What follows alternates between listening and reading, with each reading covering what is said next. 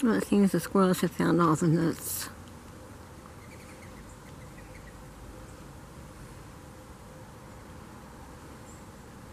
We don't mind, they need to eat too.